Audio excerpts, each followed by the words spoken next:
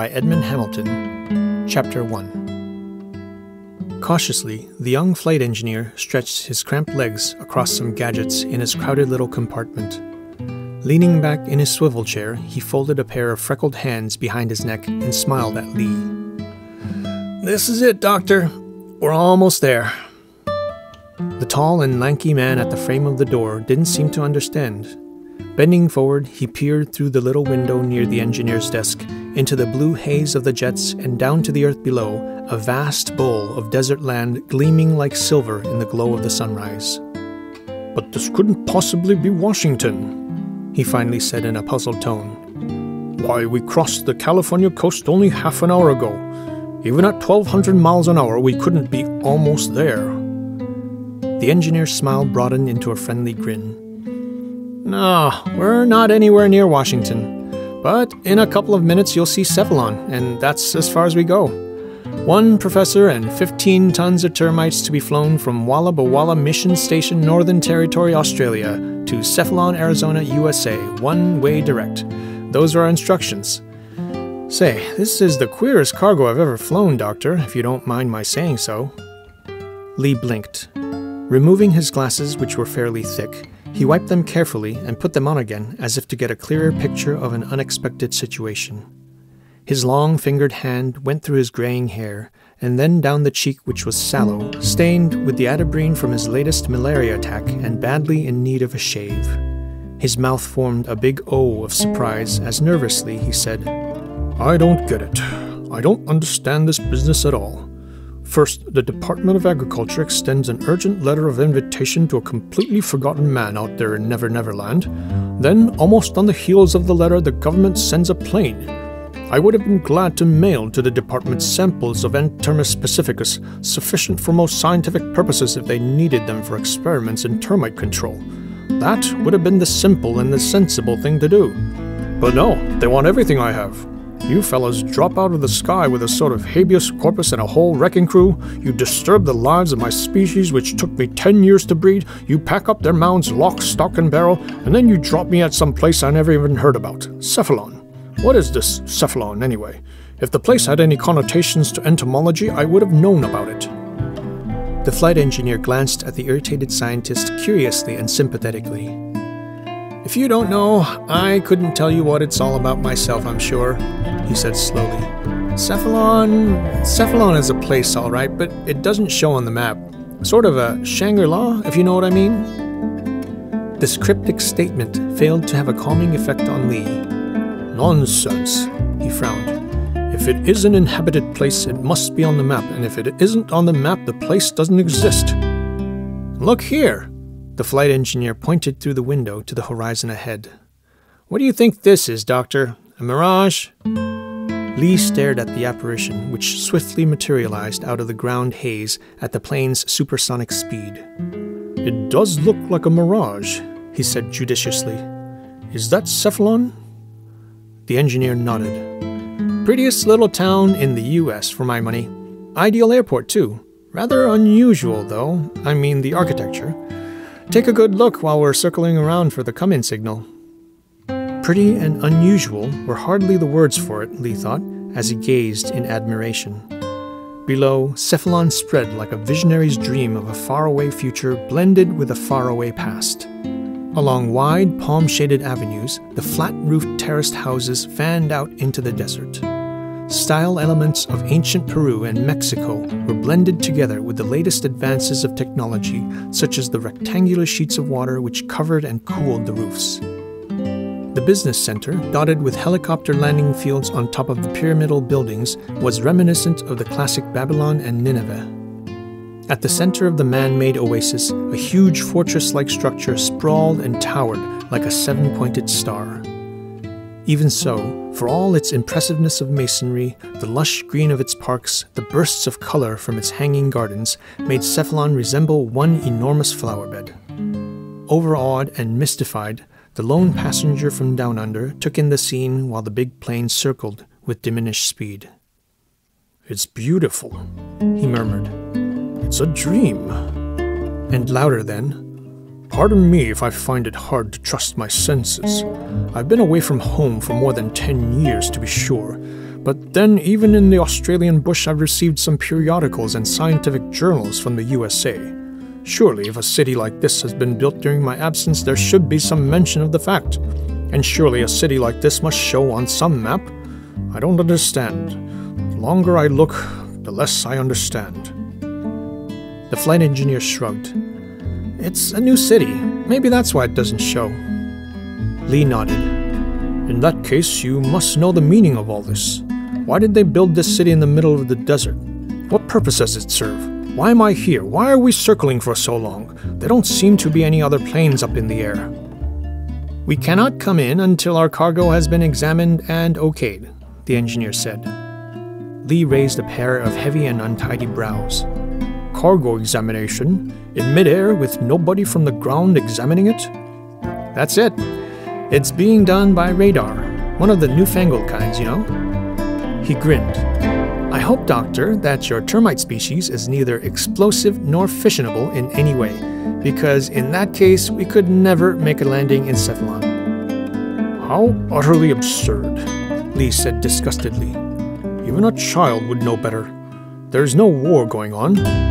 Or is there? What makes them take such absurd precautions? The engineer narrowed his eyes. You're an American, Dr. Lee, aren't you? Well, in any case, I should see no reason why I should be beating about the bush.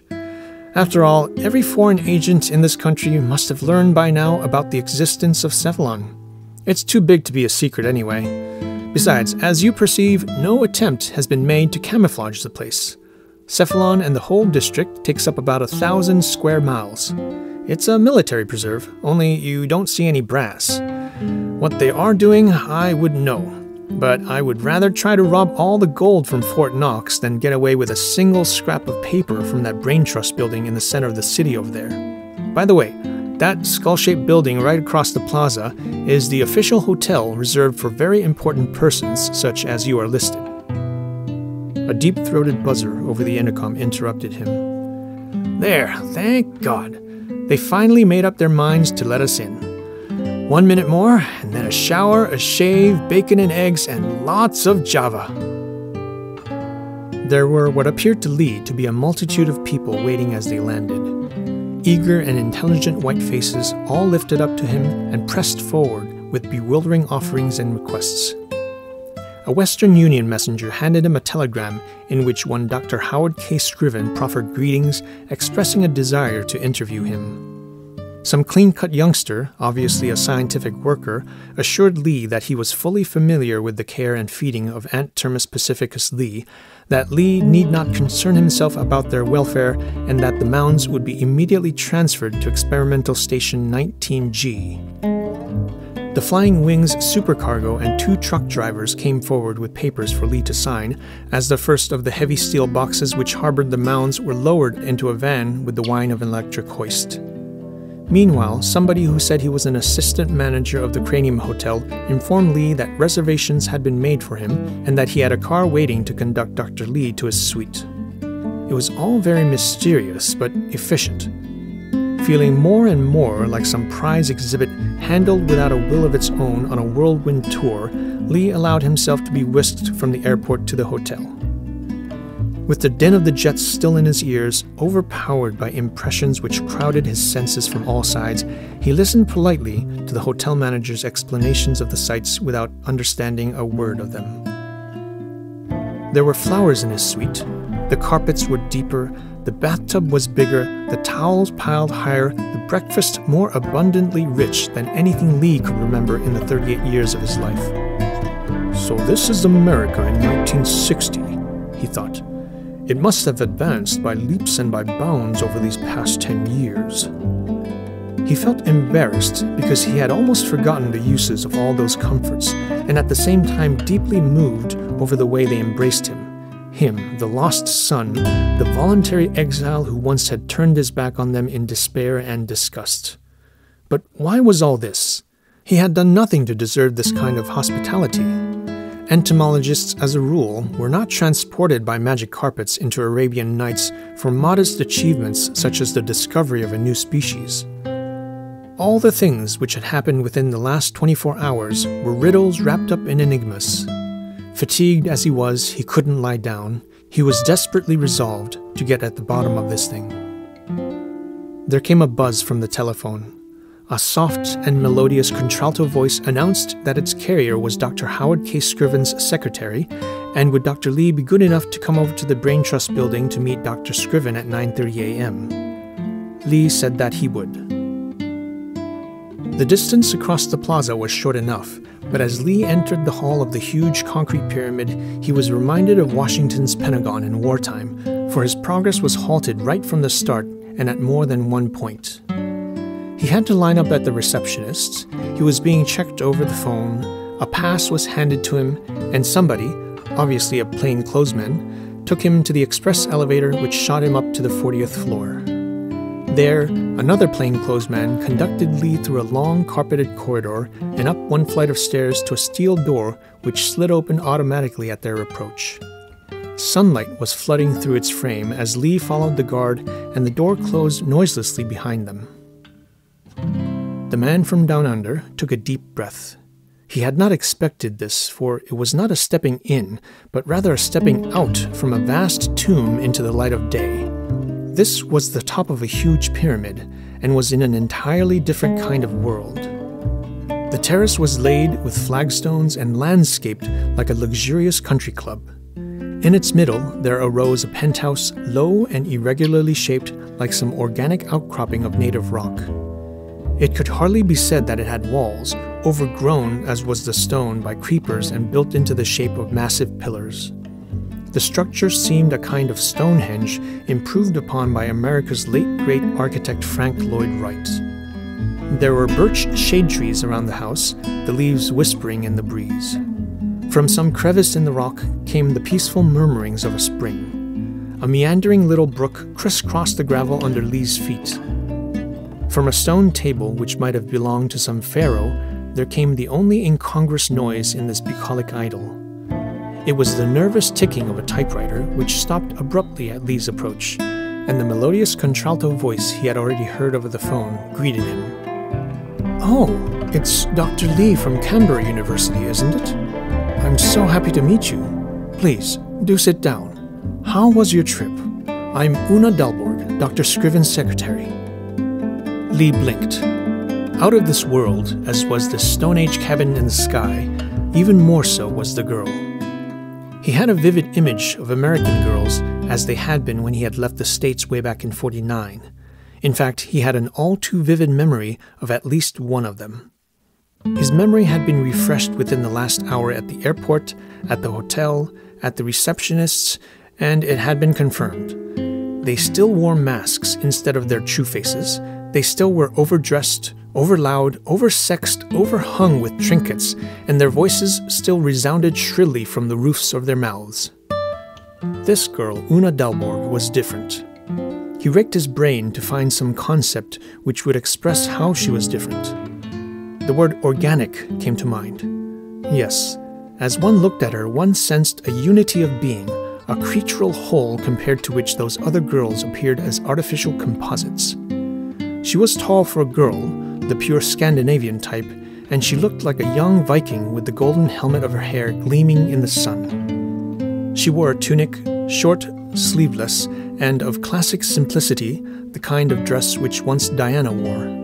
It revealed the splendor of her slender figure and stressed the length of her full white limbs. On the black of the tunic, an antique necklace of large amber beads formed the only ornament the bow or the spear of the great huntress whom she resembled so much would have looked more natural in her hands than the typewriter. Even so, her every move showed perfect coordination of body and mind, a large surplus of vital energy carefully controlled. Had she turned to some different career, she might easily have developed into some great athlete or else a great singer.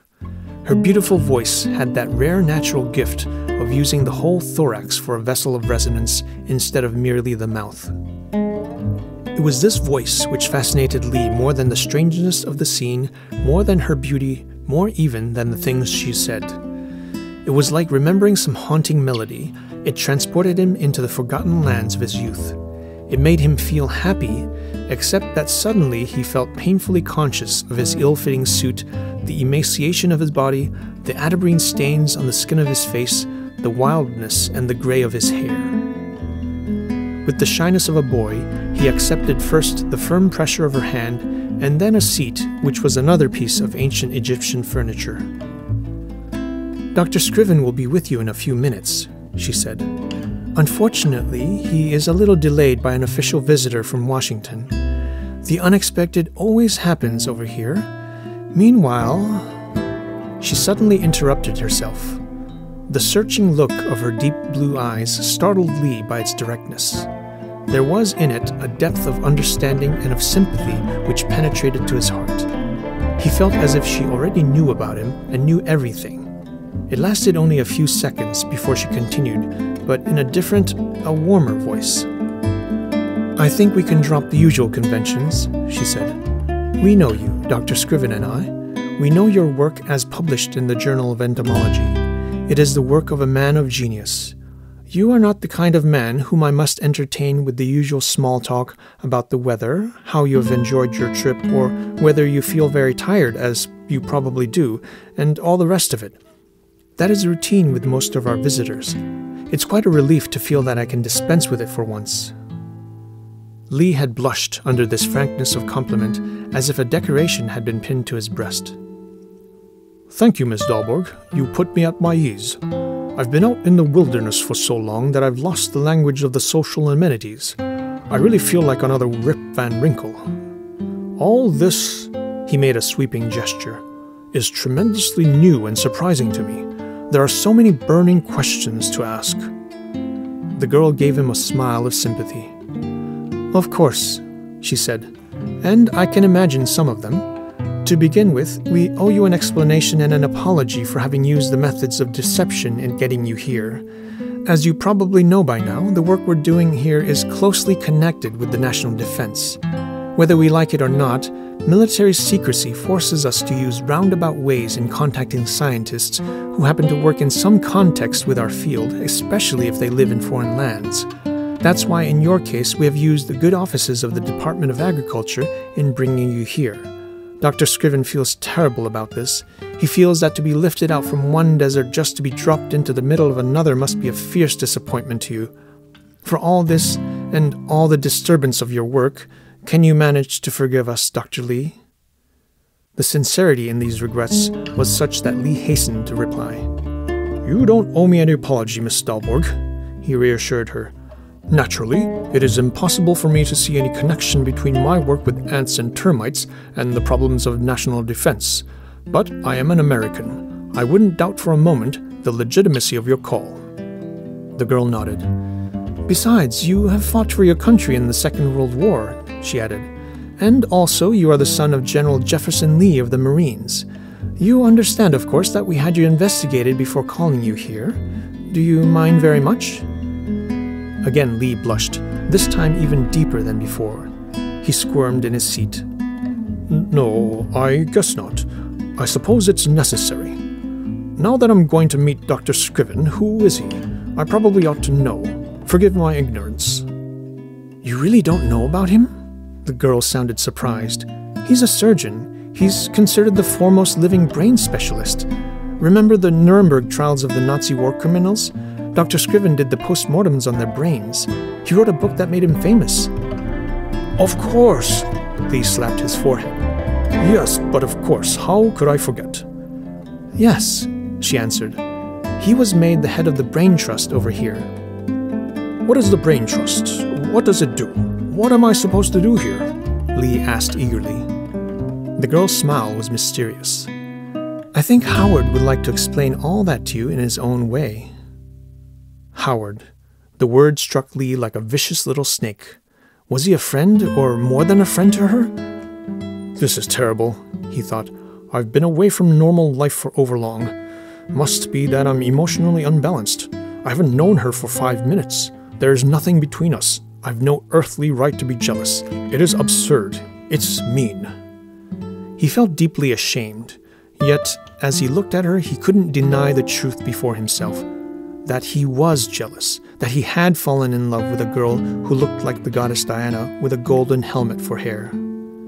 There was a noise of footsteps on the gravel paths. A man with a portfolio under his arm walked briskly by the stone table. Despite his civilian clothes, he had West Point written all over him. He disappeared through the steel door. That was General Vandergeest, Una said. Dr. Scriven will see you now. Just walk in, Dr. Lee. End of chapter 1.